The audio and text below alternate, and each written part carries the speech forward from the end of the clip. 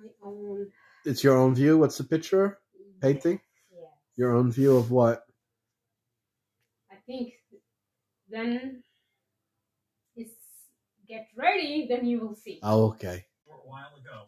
That letter, issued jointly by House Speaker Nancy Pelosi and Senate Majority Leader Chuck Schumer, says Congress remains unwavering. I'm Eric Hansen. When I see a trail,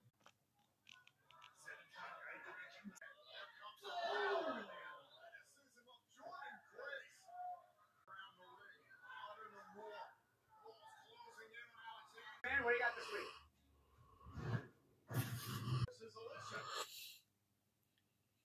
sure about Botox today.